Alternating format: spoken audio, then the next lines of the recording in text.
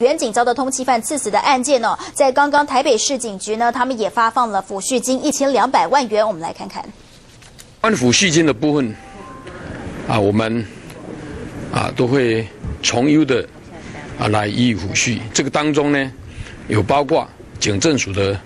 慰问金，有包括警安基金，